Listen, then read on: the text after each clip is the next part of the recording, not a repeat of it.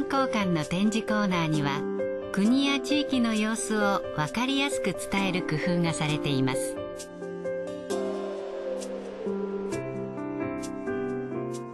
例えば中国の看板のコーナーには当時の暮らしぶりを再現した人形や建物の模型が展示されています。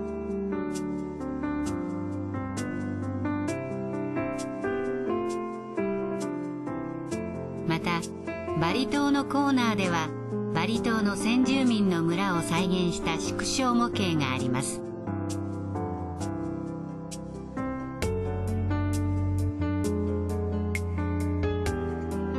人形や模型などのミニチュアによって解説パネルや写真では伝えきれない部分を補うことができます。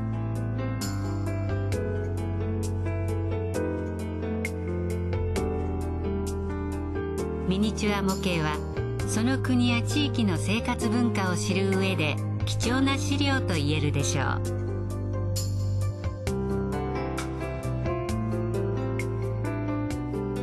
今回は世界各地の人々のライフスタイルを示した風俗人形やミニチュア模型を見てみることにしましょう。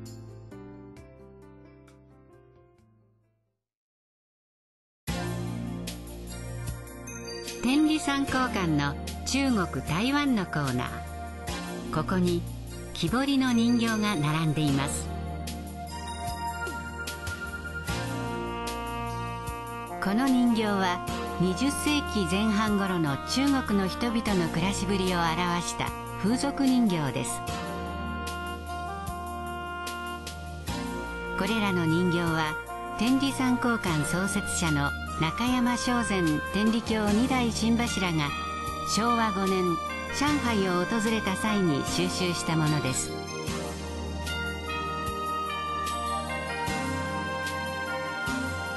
串などに使われる柘の木を材料に機織りや農作業また遊びといった暮らしの風景がきめ細かく表されています。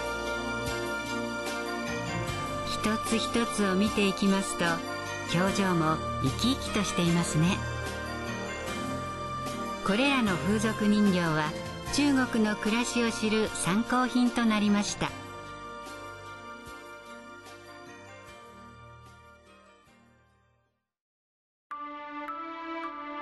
一方こちらの人形も中国のライフスタイルを表したもの。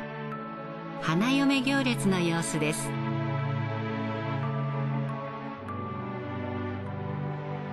昔北京では婚礼は夜に行われるのが習わしだったということで提灯を掲げ楽器を奏で華やかな雰囲気を演出しています。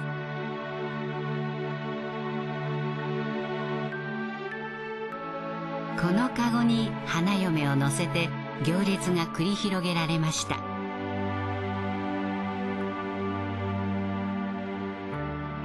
花嫁行列はかつては盛大に行われていたということです。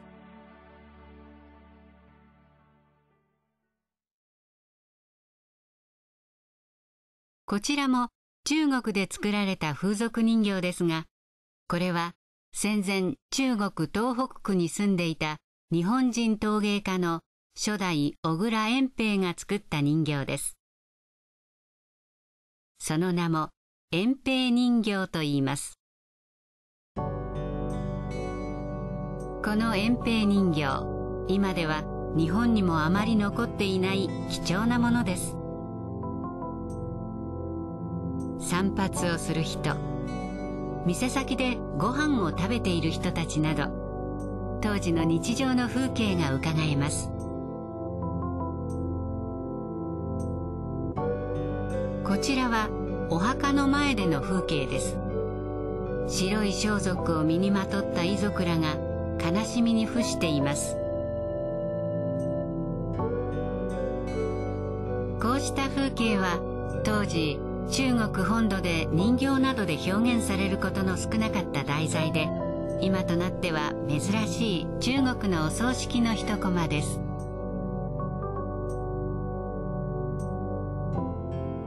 遠平人形は土産物となっていたようで映画「ラストエンペラー」で知られる清朝最後の皇帝愛新覚羅溥儀も天皇系のお土産の一つに扁平人形を選んだということです。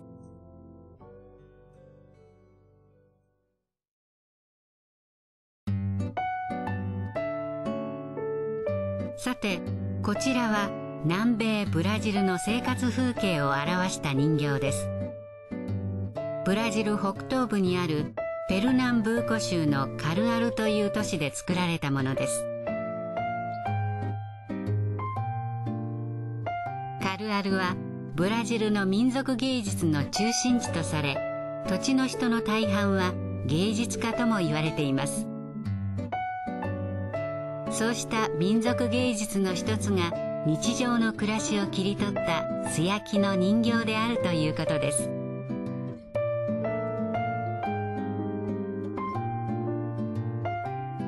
これらの人形は素朴で実に伸びやかです。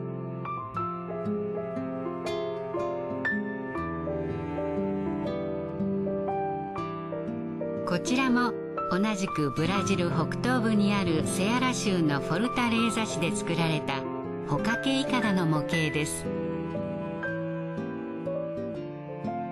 このイカダジャンガーダと呼ばれるもので板状の船に三角の帆を張った簡単な仕組みになっています。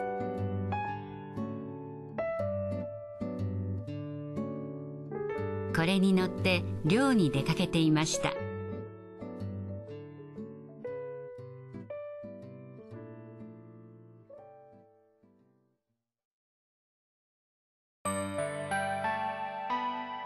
さて3月のひな祭りの時期に三光館の日本の民家のコーナーにひな人形が飾られました。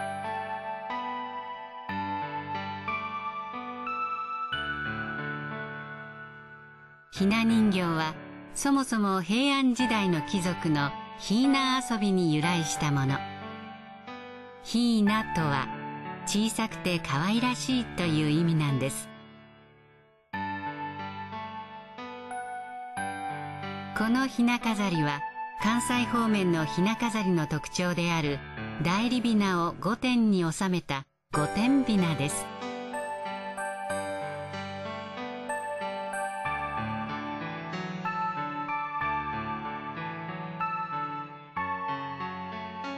またひな人形の前にこのような台所用具のミニチュアが飾られることもあります。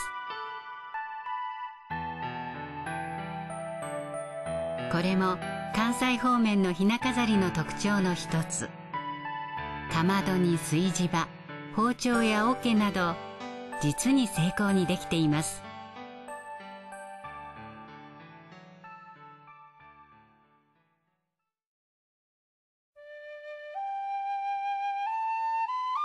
中国の考古美術のコーナーにも建物のミニチュアがありました。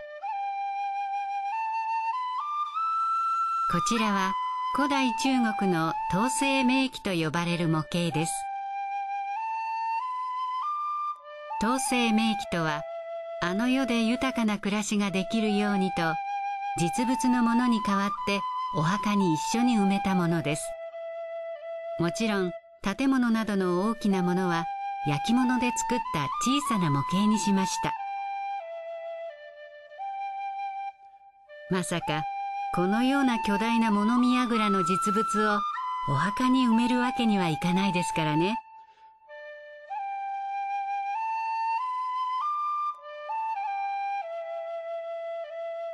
こちらは統制名器の一つである豚小屋です。この豚小屋実はトイレなんです。上から落ちてきた人間の排泄物が豚の餌になるというものでこのようなトイレは最近までタイインドネシア朝鮮半島沖縄などにもありました。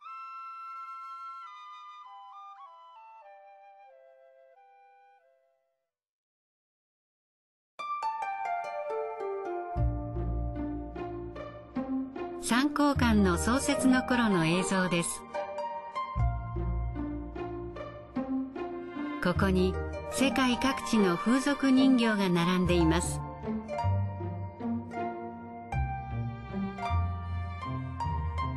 その当時の風俗人形が今も参考館に残されています。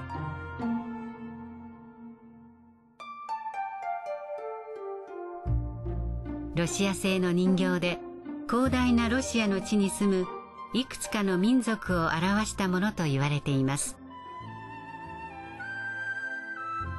今ではすっかり色あせていますが海外を身近に感じるものとなったようです。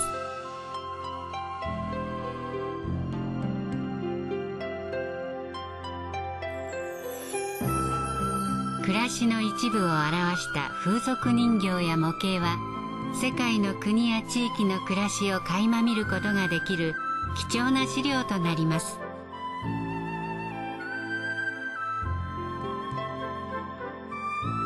な世界の中に映し出されたものから世界の生活文化を知るとともに民族の心を理解する手助けとなっていくのではないでしょうか。